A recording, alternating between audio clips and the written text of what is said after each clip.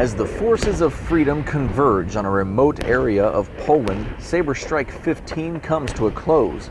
An important multinational exercise, many dignitaries were on hand to witness the showing of force.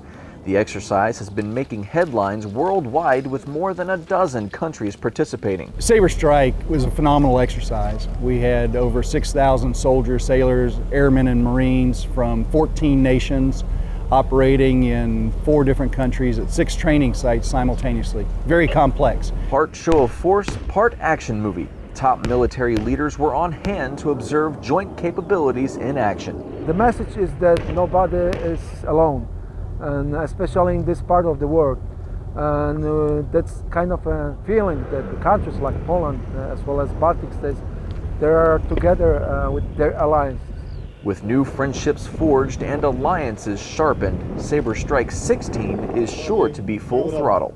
Saber Strike is on tap for next year and it's integrated into our Anaconda 16 training platform.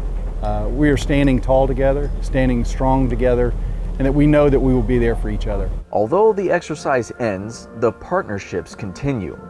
From Saber Strike 15 in Drawsko Pomorskie, Poland, I'm Senior Airman Steven Adkins.